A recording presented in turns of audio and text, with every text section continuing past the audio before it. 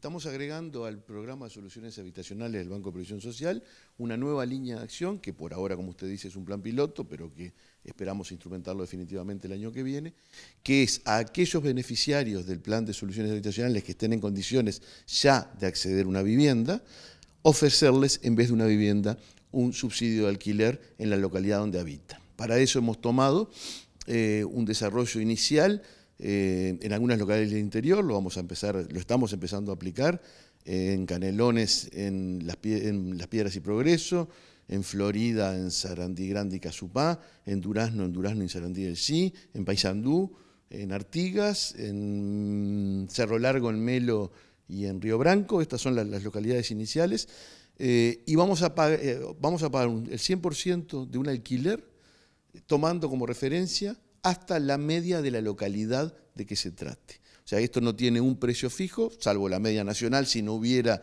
un, cálculo del INE, pero si no, vamos a ir a las poblaciones a ofertar un alquiler este, que se hace cargo del Banco de Previsión Social para poner ahí a un beneficiario, que será del valor de la media de esa localidad. La idea con esto es llegar a beneficiarios que están esperando una vivienda y reducir la demanda insatisfecha que con el programa de construcción de vivienda hasta ahora no lo logramos hacer, porque como es lógico el proceso de construcción es lento eh, y tiene, eh, no logra el ritmo adecuado para poder permitir eso. Y además vamos a llegar a lugares del país donde naturalmente puede haber dos personas esperando una vivienda o una persona que es muy improbable que fuéramos a construir una vivienda y en este caso sí podemos darle un beneficio a las personas.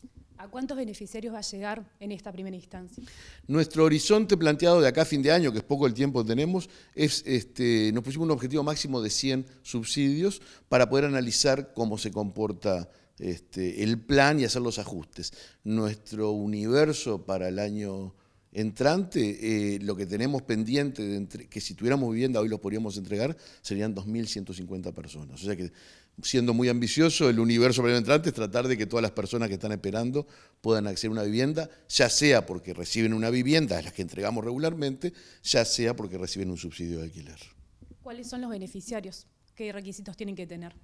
Los beneficiarios son eh, jubilados que tienen no más de 12 UR de este, jubilación y que después se han presentado a solicitar y cumplen una serie de condiciones personales y económicas que eh, las tienen que buscar directamente en la página. Esto hay entrevista con asistentes sociales, hay una valoración, no debe ser propietario, no debe tener otros ingresos, en fin, hay una serie de consideraciones. Pero básicamente estamos hablando de eh, beneficiarios de bajos ingresos, naturalmente.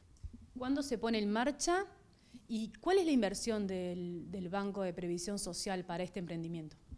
Eh, ya está puesto en marcha en las localidades que le, mencioné. Si un propietario tiene una vivienda y le interesa que el Banco de Previsión Social eh, la riende, que se arrime a ofertarla y si nuestros beneficiarios, que eso ya los contactamos nosotros, saben de una vivienda, eh, la van a traer para que nosotros podamos inspeccionarla y ver si cumple con los requisitos.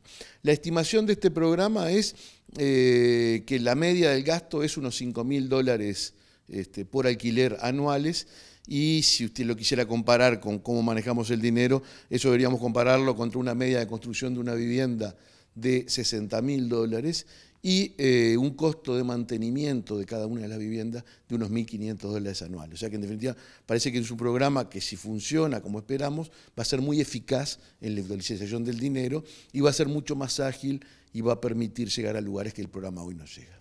¿Se va a monitorear cuál es el resultado de este plan piloto para poder seguir proyectando?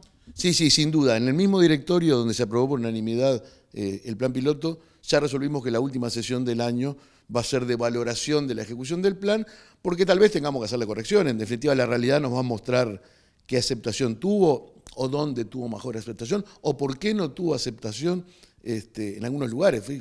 La realidad es muy cambiante. Hay departamentos que en un determinado momento pueden tener una demanda de vivienda más importante que otros, en definitiva lo tenemos que mirar.